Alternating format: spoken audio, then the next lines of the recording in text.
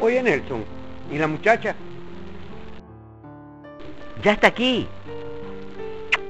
Es una ricura. Un bomboncito.